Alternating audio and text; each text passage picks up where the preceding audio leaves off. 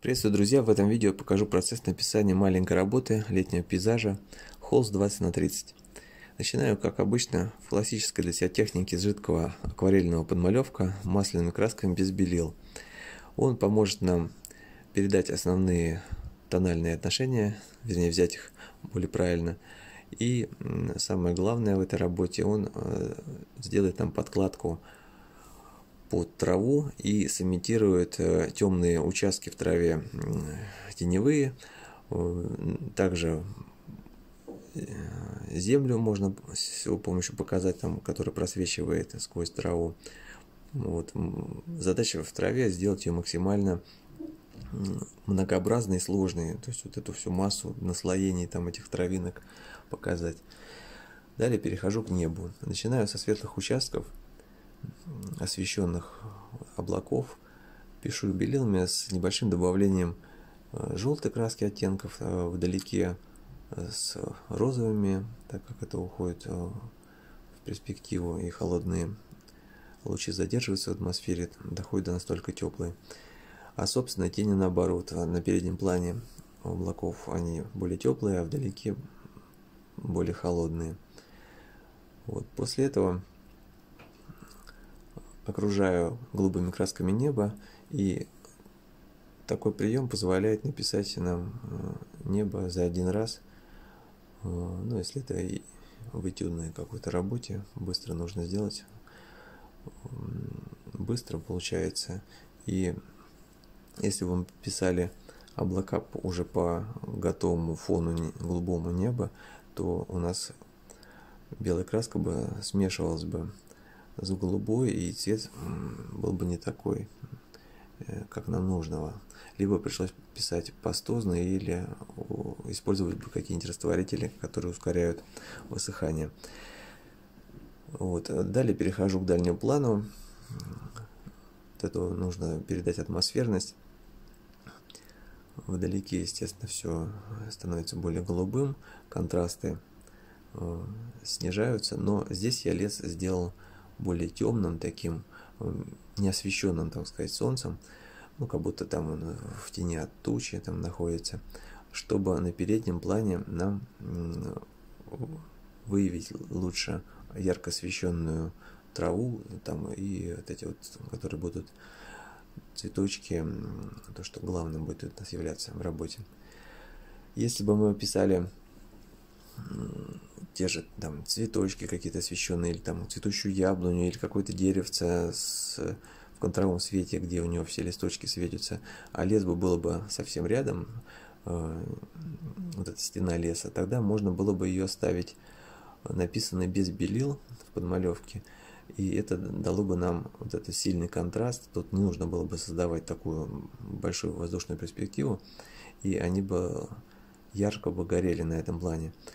Э, вот этот секрет, если использовать такой, то можно создать такую звонкую и яркую работу и написать ее за один раз. Ну, далее прописываю дальний план. Э, трава вдалеке, она обобщается. Оттенок такой у нее светло-бежевый, охристые тона. К переднему плану оттенки начинаются более теплые, потом идут, идут зеленоватые, мы видим там какие-то уже э, вот эти вот э, травинки, которые в глубине зеленые, свежие. Вот, и в то же время совсем у нас под ногами, так сказать, просвечивает земля, вот то, что э, оставлено в подмалевке, написанное, будет у нас имитировать землю. И также подмалевок вот тени там, где кустик будет, э, он тоже будет, хорошо будет передавать это. Потом э, тонкой кистью уже делаю тонкие там какие-то эти травинки, веточки всякие, на которых будут вот эти бутончики. Тут в написании травы важно сделать ее как можно более разнообразные, сложные, максимально туда внести большое количество оттенков разных и фактур. Поэтому я использую и мастихин резкими ударами на нашу краску, и там черенок кисти, и большой щетинной кистью какой-нибудь такой старый лохматый тоже можно делать. В общем, у каждого может быть свои приемы, своя манера, техника в написании травы, если вот мы пишем так вот в этюдном плане за один раз с такой средней детализацией. Вот. Ну и тут уже идет э, далее вот эта доработка, уточнение. Э, главный принцип тут от темного к светлому также накладывать и пастозность э, тоже постепенно наращивать в наслоении краски, чтобы вот передать эту фактуру и глубину в этой массе травы. Ну и потом также начинаю писать вот эти цветочки на колючках э, тоже от темного в светлом. Сначала э, допустим то что находится в ну, собственной тени у них, у этого каждого цветочка, темной краской розовой, потом средний тон и потом почти белые, светлые участки, чтобы они также были, э, ну, смотрелись многообразно написаны, так как они по-разному освещены, ну, и освещены, и повернуты к солнцу, вот, их также нужно сделать более разнообразным. На натуре не всегда, конечно, удается так э, детализированно все прописать, э, освещение быстро меняется. Но в мастерской, естественно, можно позволить себе более детально прописать. И, конечно же, когда краска будет высохнет, и уже на второй сеанс будет легче прописывать тонкие травинки. А сейчас это Э, ну, по невысохшей краске, конечно же, сделать сложнее. Также тонкие травинки можно использовать э, мастихин, самим лезвием наносить такие тонкие полоски ребром мастихина. Потом перехожу уже к белым цветочкам, да не знаю, как это правильно называется. И самое главное, их уложить в плоскости по траве, то есть э, расположить и группы какие-то сделать, и по ритмам, а, чтобы это было интересно.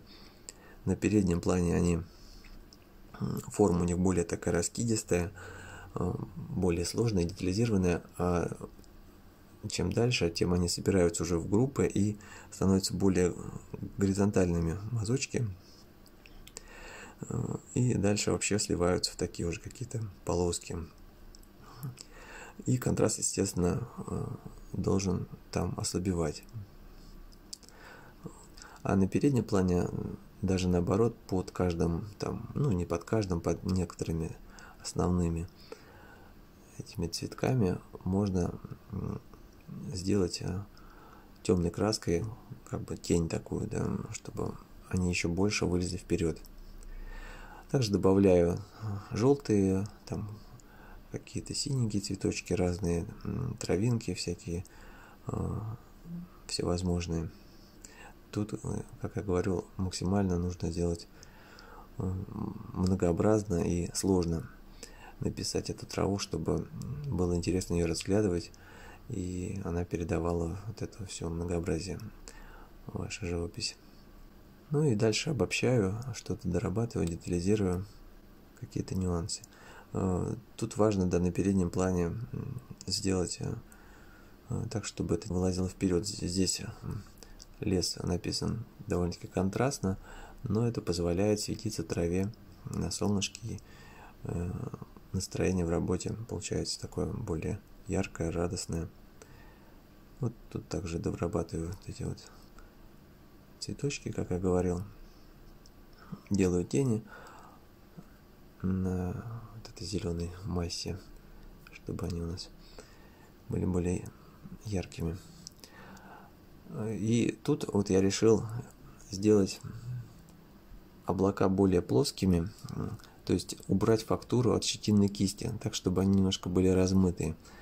Вот это позволит нам также траву, то, что у нас композиционный центр на переднем плане, чтобы он своей фактуры вылазил вперед, а облака были написаны более гладко, и они как бы растворялись, поэтому я решил убрать э, фактуру от щетины кисти на них, а сделать их написанными, как будто они написаны мастихином. Ну и также добавляю тоже в облаках какую-то детализацию, там тени, темные какие-то облака, которые находят на светлые. Ну, так, чтобы это все было более интересно и детализировано. И еще очень важно смотреть работу свою издалека почаще. Также можно использовать зеркало, через зеркало смотреть, это увеличивает расстояние и в зеркальном отображении лучше видны ошибки. И можно смотреть, э, сфотографировав ее на телефон, допустим, на экране в уменьшенном размере, тоже хорошо видно все недочеты. Это очень помогает. На этом все. Всем удачи, пока.